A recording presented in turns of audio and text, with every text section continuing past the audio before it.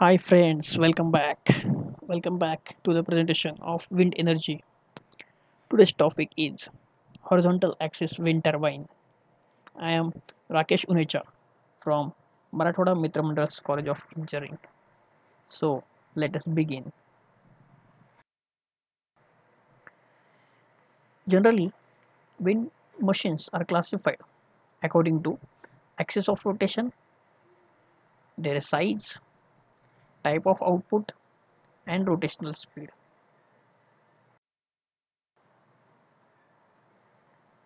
According to axis of rotation, wind machines are classified into two types horizontal axis wind turbine and vertical axis wind turbine.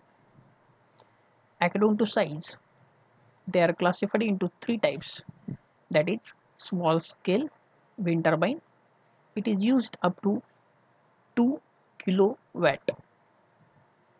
Second one is medium scale wind turbine. It is used to generate 2 kilowatt to 100 kilowatt of energy.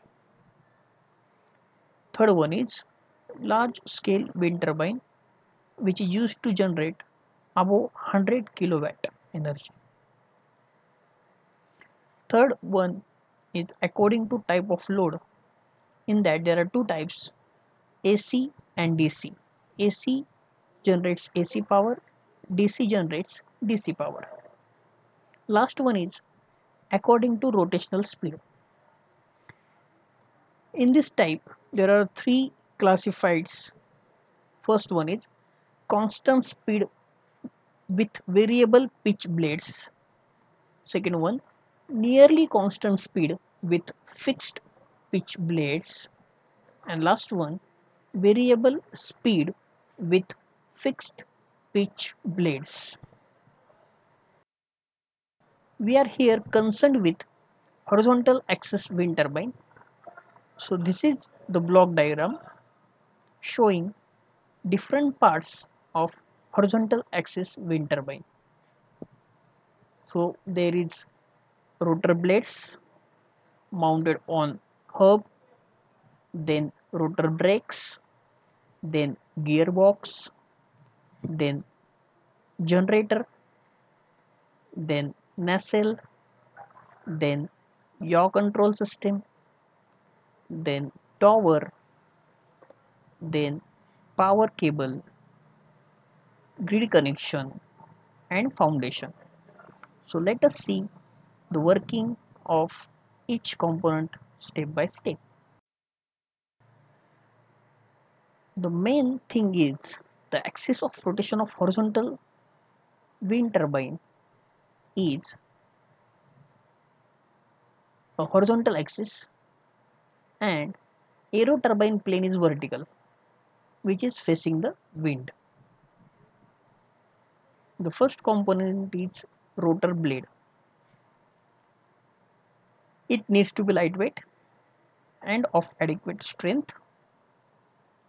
It's generally made up of glass fiber reinforced plastic. It is having airfoil cross section. Here we can see that the airfoil cross section is such that wind should slide over it and should provide lift to the blade. Then there may be two or three bladed rotors. Three bladed is more balanced than two bladed, but if we add third blade, it increases the power output by 5% only while the weight and cost will increase by 50%. The second component is hub. It is a central portion of the rotor wheel all blades are attached to it and pitch control is provided inside the hub. We have already discussed that pitch control means it is the angle of blade with the plane of rotation and it affects the force acting on the blade. Next is nacelle.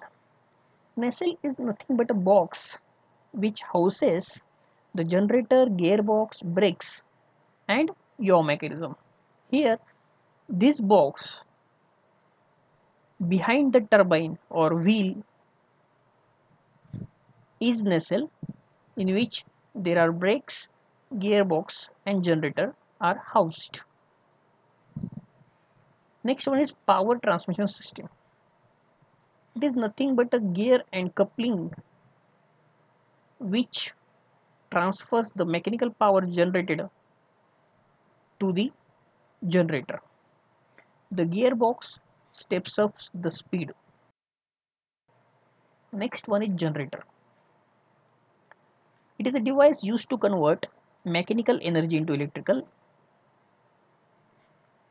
Three types of generators can be used for large turbines, induction generators, for medium turbines, synchronous generators, and for small turbines, permanent, permanent magnet generators. Next one is yaw control. We have already seen yaw control is a control which makes the turbine perpendicular to wind speed. So this mechanism continuously tracks and keeps the rotor axis in wind direction.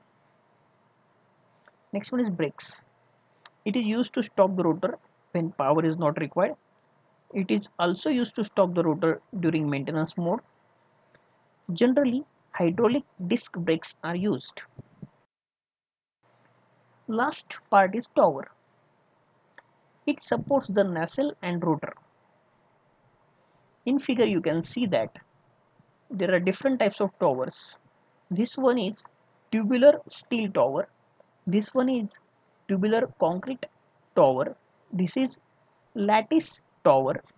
This is three-legged tower and this is guy wired pole tower. Tower height is generally twice the diameter of turbine so that the blade length matters if blade length increases the diameter will increase and that will correspondingly increase the height of the tower.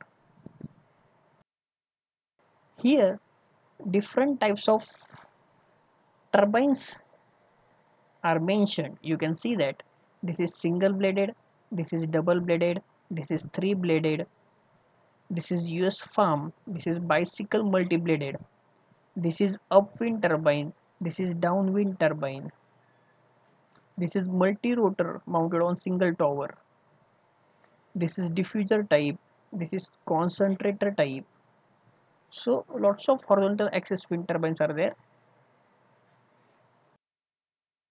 Thank you. Today we discussed horizontal axis wind turbine. In next slide, in, in next presentation, we will discuss vertical axis wind turbine. Students, you can contact me for any queries on mail rakeshunecha at the gmail.com and my mobile number is 97633 If you like the videos, please like it and subscribe my channel. Thank you. Thank you very much